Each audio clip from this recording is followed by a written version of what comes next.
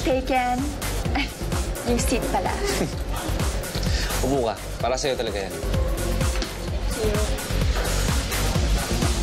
Cheers! Cheers. Ikaw ba, naniwala ka na ako talaga yung may-ari ng peking account na yun? No, no, no, no. Of, of course not. Tsaka wala naman akong judgment sa mga babaeng naghahanap ng kadit sa internet. eh. At the same time, alam ko naman na hindi ko yung tipo ng babaeng ganun.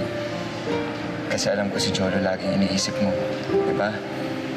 Pero honestly, knowing about your past, Erika, sobra akong humanga sa'yo. Kasi ang tatag mo eh. Hindi lahat ng tao kaya yung pinagdaanan mo. May gusto ka sa kanya? Alam mo, hindi naman malayo na magkagusto kami mga lalaki sa kanya. Maganda siya. At mabait. Excuse me. Pag nalaman mo yung totoong ugali nun, mataturn off ka. O bakit? Ano bang ugali niya talaga? Nasa loob ang kulo ng babaeng yun. Akala mo lang mabait, pero ang totoo, mayabang, swapang, malandi. Pag nasa pamilya ka na, ingatan mo talaga na hindi sila masaktan. Kaya ikaw yung mag-adjust. Pero hindi ibig sabihin nun na hayaan mong magpapi ka kapag pagkatao mo na at importanteng tao sa buhay mo yung magabyado. Hindi ka magtahimik lang. Sige, Day. Okay na. Kung ano ang desisyon mo, okay na sa akin. O sige, para makalis na tayo, mag-impake na ako, ha? Huwag na natin pag-usapan si Erika. Nakakapag ano eh, nakakapag-init ng dugo. Ba't lang natin pag-usapan kung anong gagawin natin pag alis natin dito?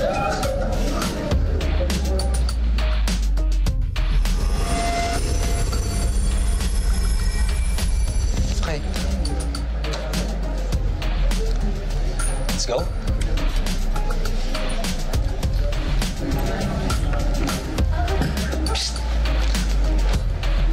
Alam ko na kahit na hindi ka dumadaing, it's not easy for you. Lalo na kapag nauungkat yung nakaraan mo. Pero hindi yun dahilan para umalis ka. Alam ko na maaayos din to, masusolusyonan ito. And it will be all right. You just have to be patient.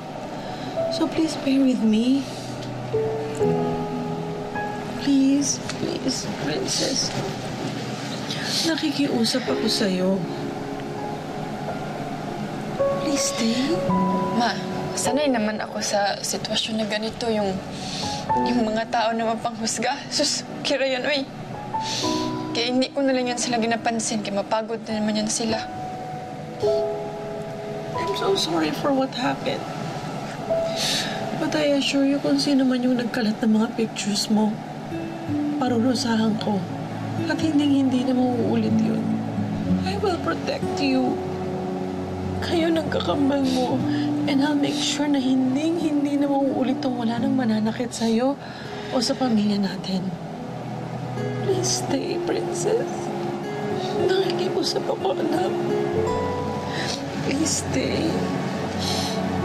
Let's face this as a family. Maayos natin ito. Ikaw na lang yung sumasagot sa mga kasalanan nila. Bakit mo ba sila pinoprotektahan? Eh, pinabayaan ka nilang makulong dito eh. Ayaw bang gumanti kahit konti lang? Tonyo, tara na. Blue Ribbon Cafe. Ano?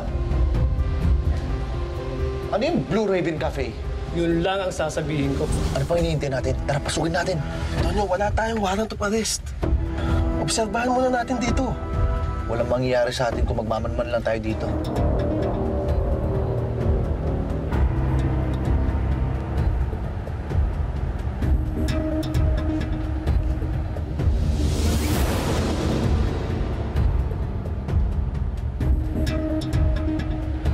Sarado naman to ah.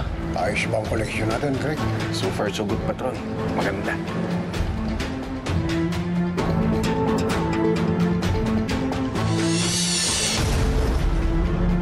Arman. Patron. Tanga na yung balon.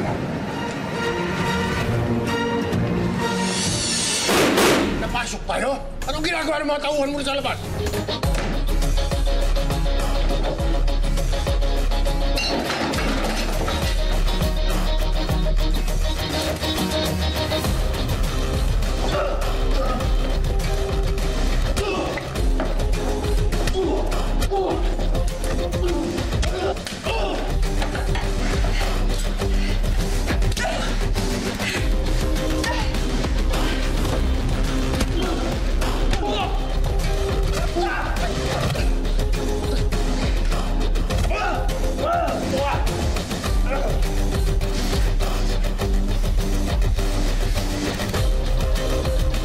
Ha? Tapusin mo na yan.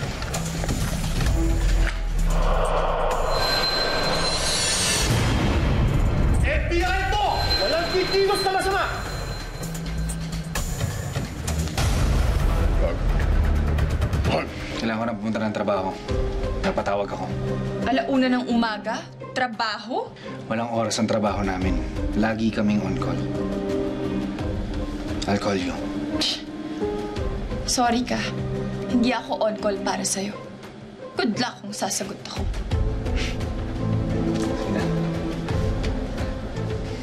Oo nga pala.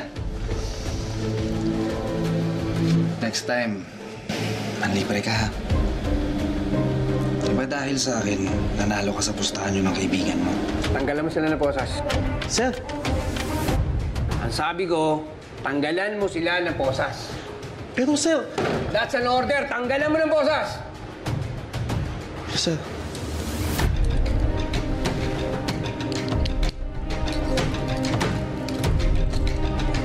Tingin, bigyan mo na sa akin ito. Souvenir ko sa iyo. Pasensya na kayo, sir, ha? Bagito pa kasi itong si Galvez, eh. Kaya masyadong mapusok. Makakalaya na kayo. Papa, nakalusot tayo kagabi. Paano kung may matimbog sila? Kailangan dispatchahin na natin sila bago mangyari pa yun.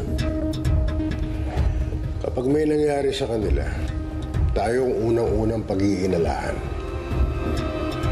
Kaya huwag niyo munang galawin si Eric at saka si Tono. Kari, gusto kong bumawi sa'yo. Kaya pinagluto kita. Gusto mo kainin mo, sabay tayo? Kung okay lang sa'yo. What's okay lang sa akin? Ay! Senyorita Pans, nandiyan ka na pala. Yes, Tonyo. So, is that for me? Ah, oo kasi matagal ka hindi bumibisita sa restaurant eh. Nakakamiss din eh. Ah, ang ibig ko sabihin, baka namimiss mo yung luto ko.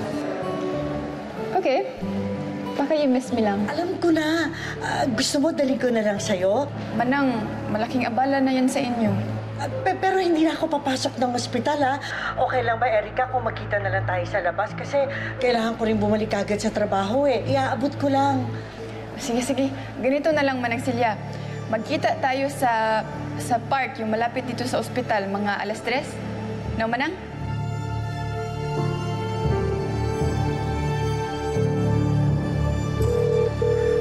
Mama, may nasagap ako. Mainit-init pa. At tingin ko, kailangan itong malaman. Adel! Debbie, anong ginagawa mo dito? Talaga ng mukha mo, no? Hindi mo ba talaga kami titigilan? Alam ko kung bakit ka nandito. Makikipagkita ka sa anak ko, kay Erika? Manong, may daanan lang tayo. Sandali lang. Ah, may kunin lang ako, ha?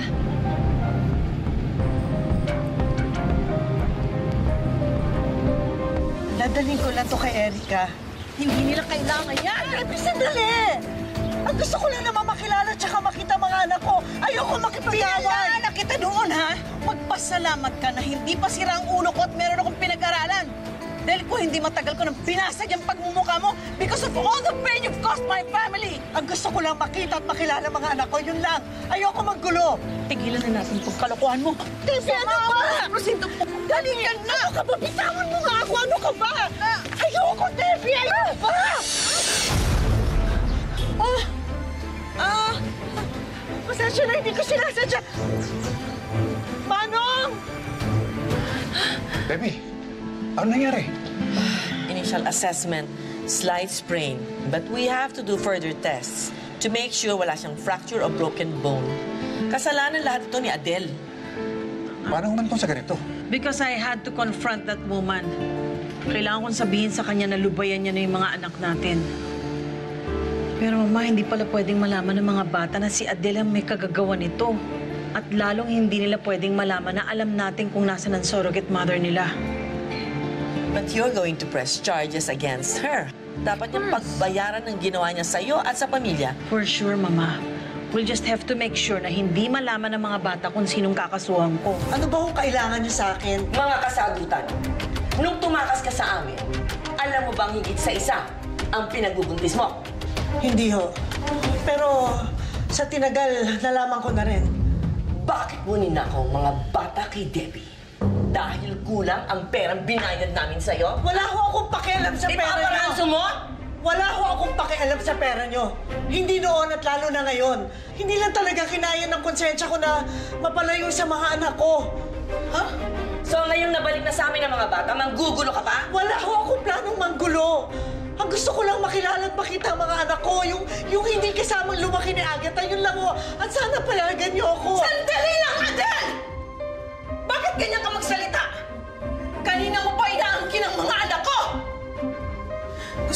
ipaalala sa'yo na isa ka lang matres!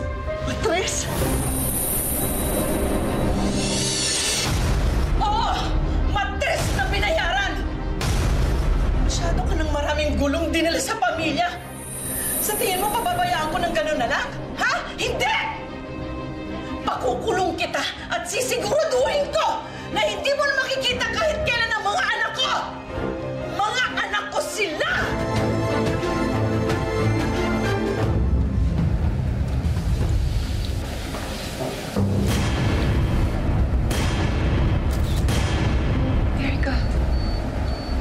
Si Manang Celia, she's Adele Magtibay. Siya yung nagluwal sa ating tatlo. Manang, bakit hindi niyo man po sinabi sa amin yung totoo kung sino po talaga kayo? Tawarin niyo ako. Hindi ko kasi alam kung paano ko sasabihin eh. Hindi ko alam kung saan ako magsisimula tsaka natatakot ako pag pag sinabi ko sa inyo ang totoo, baka hindi niyo na ako bigyan ng pagkakataon na, na makilala kayo. So, you heard Mama. Hindi, hindi, hindi, hindi totoo yun. That's true. Hindi. Alam mo, hindi totoo yun. Aksidente ang lahat na nangyari. Maniwala kayo sa akin. Aksidente yun. You should have seen kung gaano siya kagalit. Pinagtulak-tulakan niya ako, sinipa niya ako. Di ba? After all, ano ba ako? Isa lang naman akong sagabal sa mga plano niya eh. Alam niyo kung paano siya na-involve sa pamilya natin. At kung ano man ang tulong na ginawa niya na bayaran ng malaking halaga. Siguro iniisip niya na kapag nakuha niya na yung loob ninyo, mahihingi niya ang kahit ano sa inyo. Alam mo, hindi totoo yun, Debbie. Alam mo, hindi totoo yan. Huwag kayong maniwala. Hindi totoo yun. Isipin niyong mabuti kung anong klaseng tao siya at kung anong klaseng ina!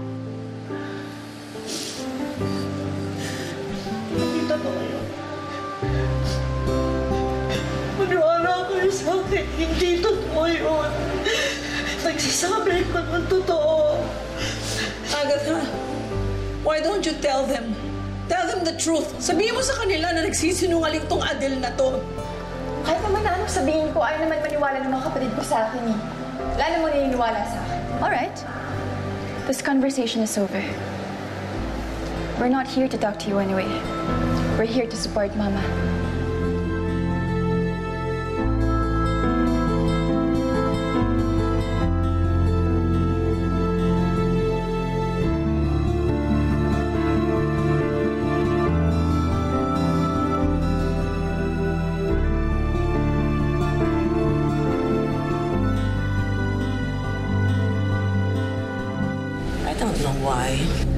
Hindi ako mapalagay. Something tells me, meron pa rin tinatago mga sikreto si Adele. Well, then all the more reason na kailangan iparating natin sa kanya that we hold her by the neck. Kapag natakot yan, magsasalita din yan.